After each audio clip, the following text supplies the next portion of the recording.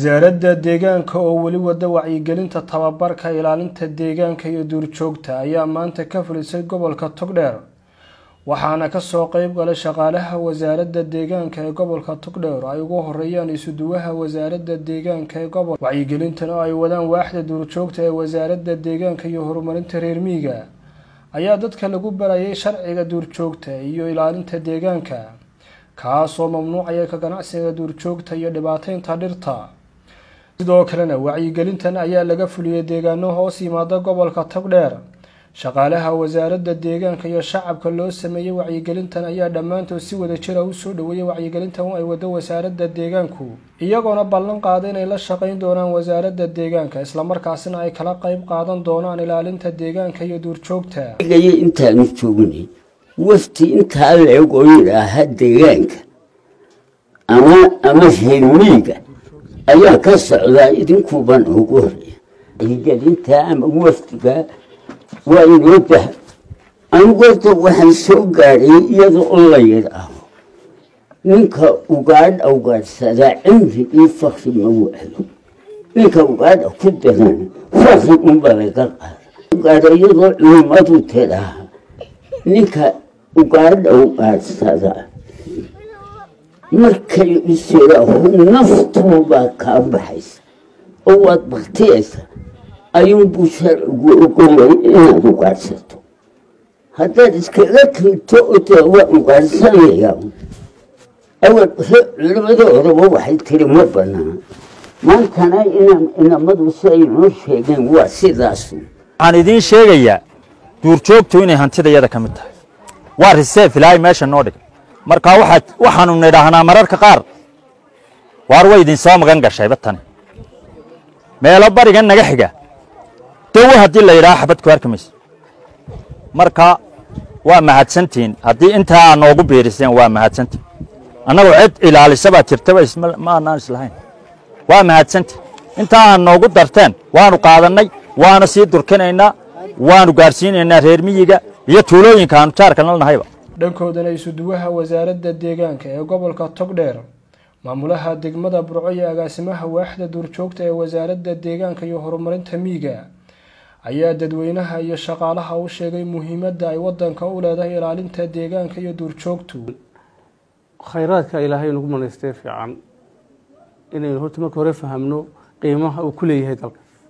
Waxa weeyaan adduunyadu sidan harmayso mustaqbalka waxa laga yaabaa in dalkeenu loo soo dalxiisto marka waa in ugaadhu waxa waxyaabaha ugu badan ee dalxiiska qeyb weyn ka qaadata.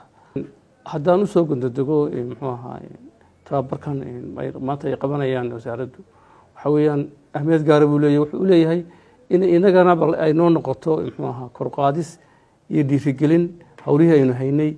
Qeybta kas labaadna ay noqoto wacyigelin sida aynu waxaynu halkan ka baranno aynu aynu u gaadhsiino dadka bulshada reer miyiga ee deegaanka miyiga ku nool dadweynaha deegaanka ku dhaqanaa runtii la gaadhsiiyo wacyigelintii ay u baahnaayeen oo ah in ugaadha la ilaaliyo inaan la dilin in deegaanka ay ku nooshahay loo dhowro in iyada la ilaaliyo. Runtii ayay u baahnaayeen dadweynaha deegaanada kala duwan. Siday noo ballan qaadeen insha allahu deegaamo dowra bay tegi doonaan oo soo wacyigelin doonaan.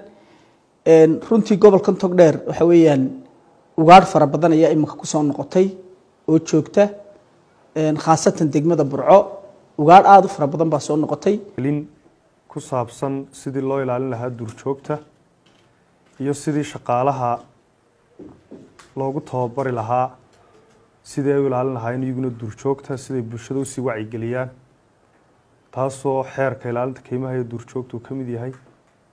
Qaabka u ilaalinayaan. Markaa runtii safarkaygan waxa weeye ilaa sanaag baanu gaadhaynaa. Markaa runtii wuxuu iskoogu jiraa tababar shaqaalaha la siinayo iyo wacyigelin. Dadweynaha reer kala dhaceed odayaasha haydhka haweenka carruurta iyo dhammaan qaybaha kala duwan ee bulshada waanu idin salaamayna asalaamu calaykum waraxmatullahi wabarakaatu. Oo maxaa lagala hadlayaa? Waxaa lagala hadlayaa ilaalinta iyo nabadgelinta iyo dhowrista duurjoogtaa soo noqotay. Ama meel kale hay nagaga timaado ama iyadu dhulka ha sii joogto ha isku dhasho inaan ugaadhaa nalanaynin oo waxba dhibaato loo geysan rasaas lagu ridin la eriyin dhibaato loo geysan bay nagala hadlayaan.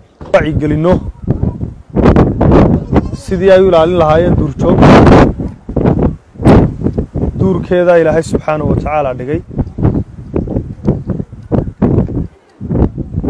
duurjoogtu sidaynu wada ogsoonnahay haddaynu halkan isnidhaahno faa'iidooyinkeeda ku taxa soo koobi kari mayno.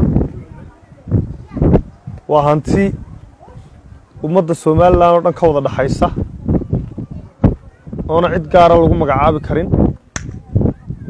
Waxay qurux iyo bilic u tahay deegaankan aynu ku nool nahay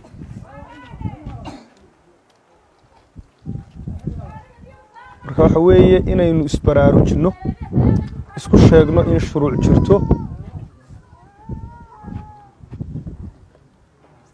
Oo idinkuna aada farriintaa sii gaadhsiisaan dadka kale